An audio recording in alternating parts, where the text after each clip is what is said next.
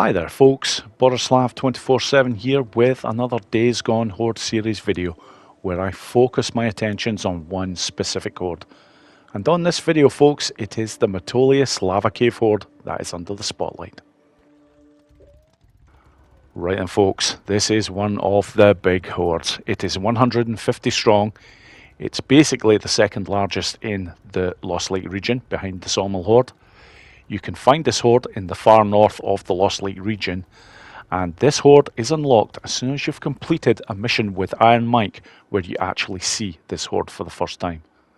Now, that is their daytime location and they are in the caves obviously given the name of the horde and their areas that they go to at night for drinking and for feeding are both very close to each other, so finding this horde is a very easy affair indeed at night time.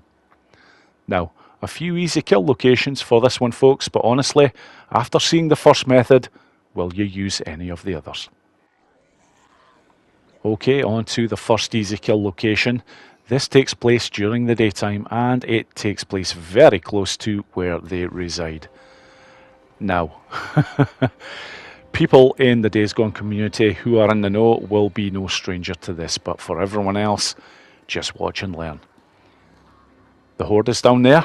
I have the torch on. Look at this area here.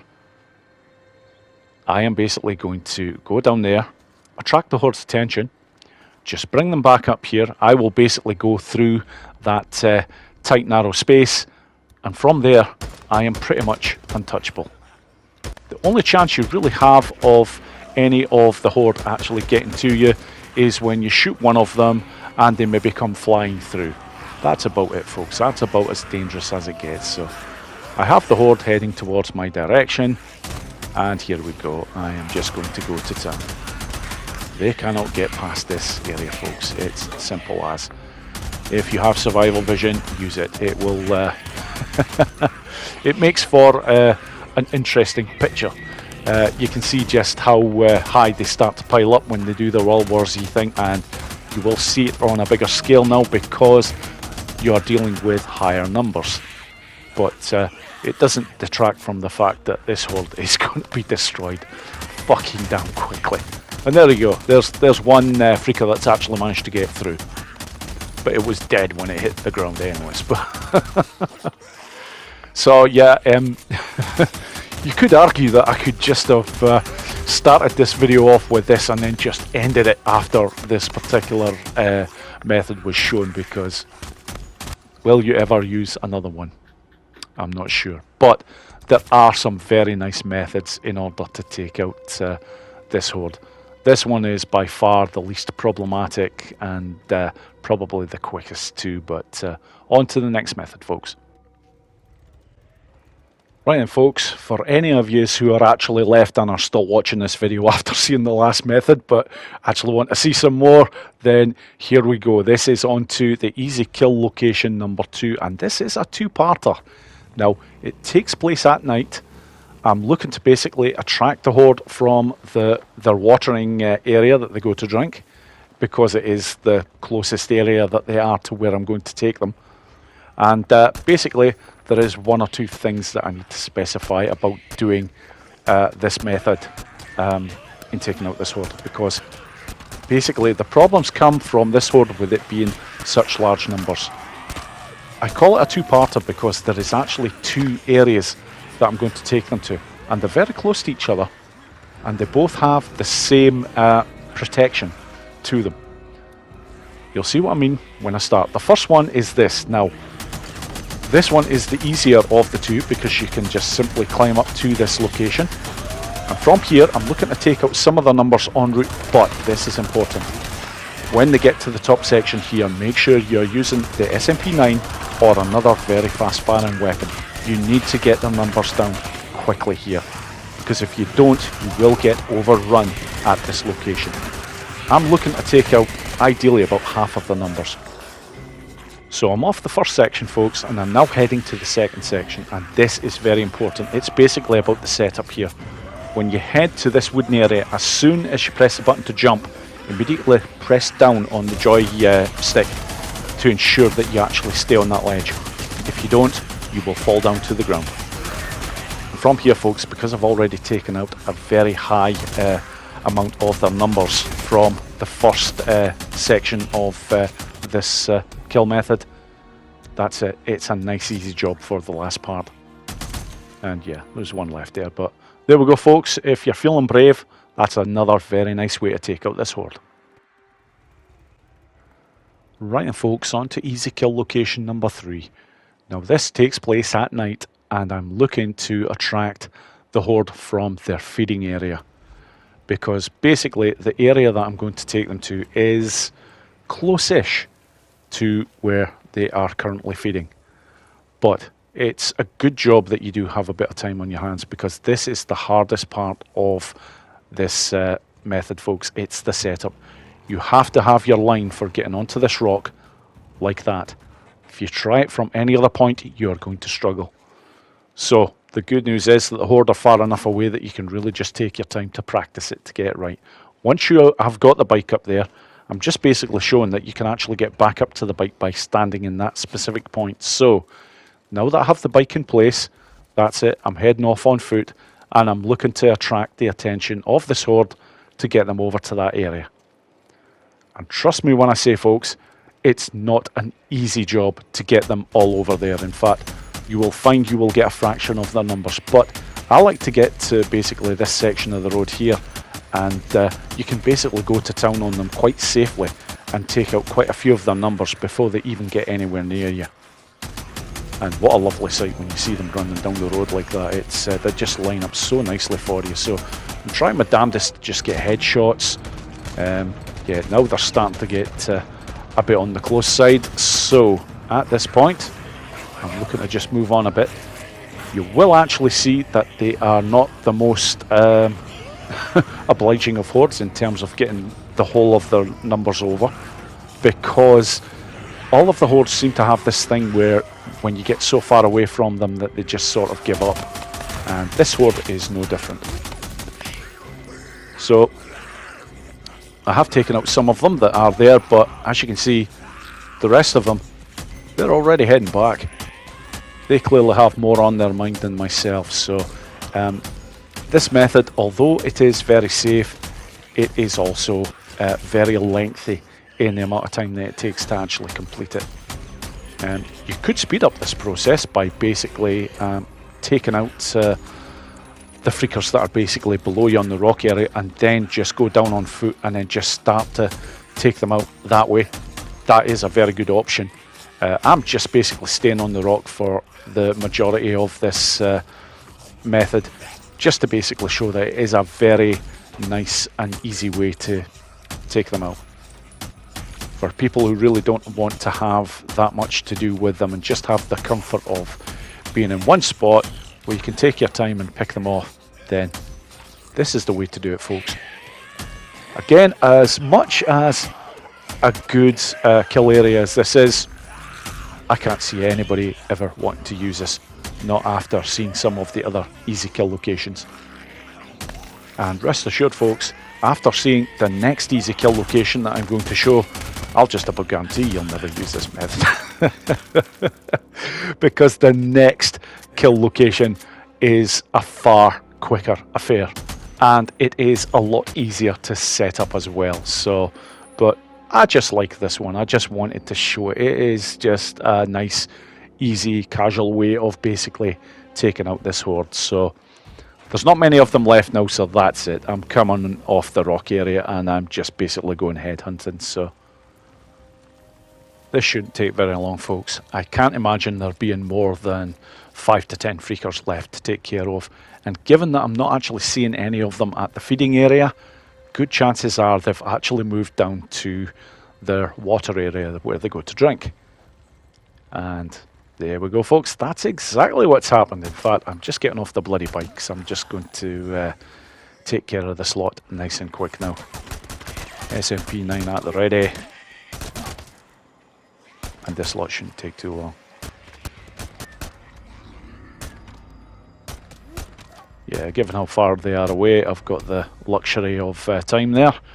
And that is it, folks. Yep, not a quick method, but yep, a very effective one all the same. But On to the next easy kill location, and this is far quicker, folks.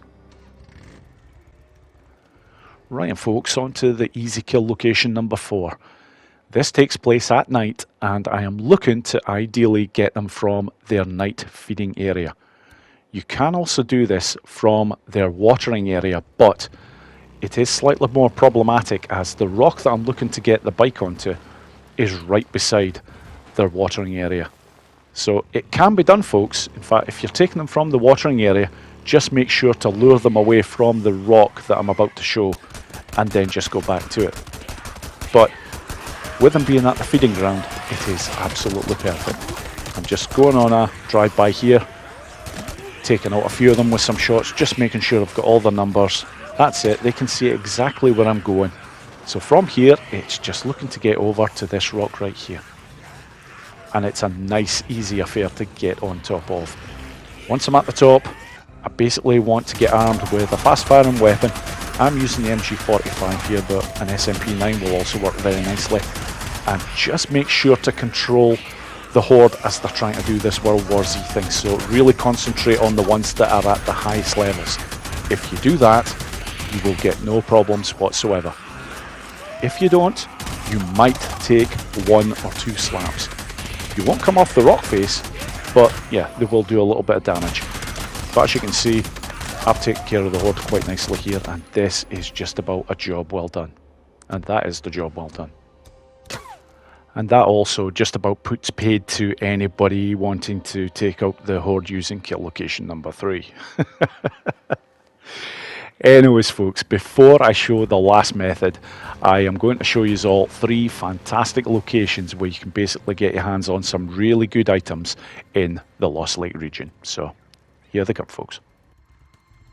Right then, folks, for three fantastic locations to get good resources in the Lost Lake area, this is the first of the three locations. It is basically Sherman's Camp.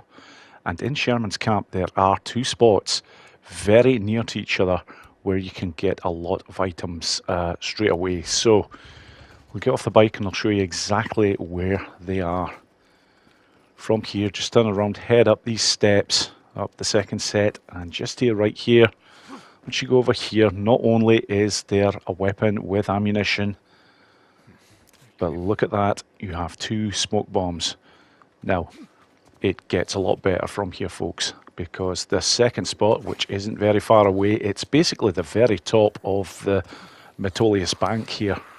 So I'm just using uh, that method in order just to climb up a little bit quicker. And from here, just get to the roof. There is some scrap over there. That is pretty commonplace. As well as that, you have a few items over here, more ammunition, a sniper rifle, but check it out here. Two flashbangs and two attractor bombs. Right, folks, location 2 is very close to the Sawmill Horde. Now, from the front of the Sawmill section, I'm actually going to mark this on the map exactly where it is because you may find, unless you've actually been to this location before, it won't be shown on the map. So take a good look at where I've marked it from. And I'm purposefully starting uh, the run to get to this area from an area that people know very well. So basically I'm looking to run along the side of the sawmill. And basically after this next set of trees here I'm looking to turn to my left. Just head on up here. And I'm not too far away at all now. You will eventually reach this very picturesque uh, part of Days Gone. And if you head over up into this section this is where you get all the goodies starting off with a fire axe, a fantastic melee weapon to get a hold of.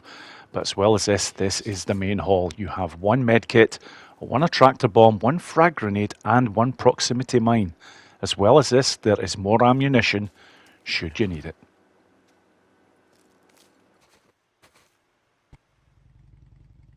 Right, folks, the third location is basically located just to the west of the sawmill. And I'm just going to mark it on the map right there because it is that very building. So from the sawmill, just right over there, and that is where you are looking at. It's this house here, and basically you're just looking at the one window up there that is not boarded up. That is how you get into the house, And once you're in, there is a lot of very nice items. Starting off first of all with a normal attractor. And on the next table here there is a remote bomb. Very nice to get a hold of as they are quite hard to come by. Now there is also a 9mm pistol down here which most people won't bother with but here are the goodies. One frag grenade and one proximity mine. And as well as this folks there is a great number of items in this house that can be used for crafting. Overall, a very nice haul from these three locations. Right folks, as always, after I've shown where you can get your hands on some really good resources, I like to show a stealth option. And this will be the last uh, method I will be showing. Now, this does take place at night and at one very specific spot. It's basically their feeding area. Because honestly folks, uh, I generally don't like taking them out at night, but this is the one area where you are guaranteed that they are just basically sitting so well to be taken out with stealth. And basically, once you get to this spot right here, it's just hitting them hard with grenades. I'm going to go with four of these bad boys and that will take out a good majority of their numbers. And from here, it's basically going to be fairly easy work because now I've got their uh, numbers so few that I'm just going to go with an attractor and I'm just taking a look here yet I'm going to go with a pipe bomb because I think there is 20 or less here I've got the Molotov at the ready in case it ain't and the pipe bomb wasn't enough yeah in fact looking at what I've got left here now I'm not even sure that a grenade would actually have taken out the rest of them if I'd thrown that instead of the pipe bomb but I'm just going to break cover here because there isn't many left. In fact, there was just the one. And that is the Metolius Lava Cave Horde well and truly taken care of, folks. Thank you so much for watching the video, and I hope you all enjoyed it.